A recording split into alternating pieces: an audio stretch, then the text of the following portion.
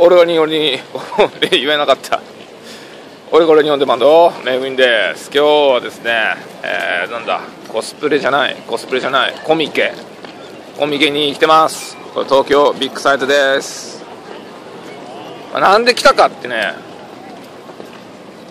コスプレが見たいんですよ。私は。まあなんか会場内はカメラ撮っちゃいけないから撮らないけども見たいんですよ。そのセクシーなコスプレが。がバンディが。今日はセクシーに決めちゃうよ。何言ってんの俺。何言ってんの。これはとんでもねえことを言ったな。見たいんですよ。だから個人的に写真をたくさん撮ってこの俺のギャラクシー 3S の中に入れて電車の中で見るどうだすげえだろ。